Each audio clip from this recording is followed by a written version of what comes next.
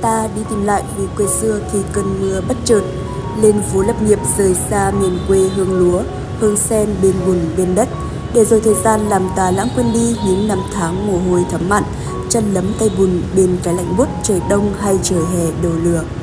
Để khi mùa mưa đi qua, những cây mạ vươn mình dần dần ngã xuống với những hạt thóc óng vàng. Rồi từ đầu làng cuối xóm, người gánh, ngồng, trâu kéo những chuyến xe nàng hạt ngọc trời mang ấm no về đầy những bầu gạo trong nhà. Nhưng bên cạnh ngọc trời đó, thiên nhiên còn mang đến những thi vị nhân gian khác như cá rô đồng, châu chấu.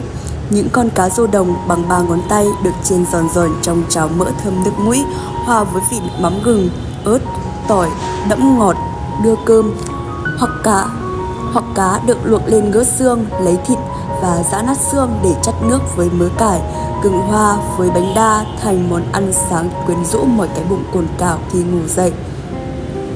Ta lớn lên theo ước mơ và đôi chân phiêu bạt để đi vạn dặm phương xa mà quên mất đi những hương vị thuở bé.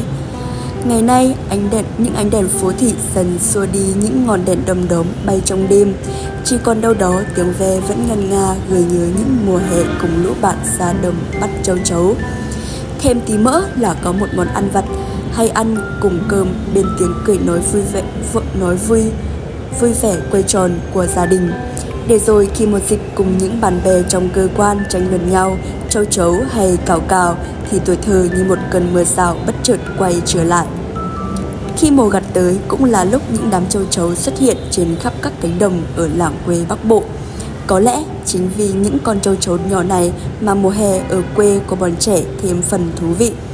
Và lúc này, đám trẻ cũng như những người sành ăn cũng có thể thưởng thức món ăn dân dã nhưng không kém phần hấp dẫn, châu chấu rang giòn.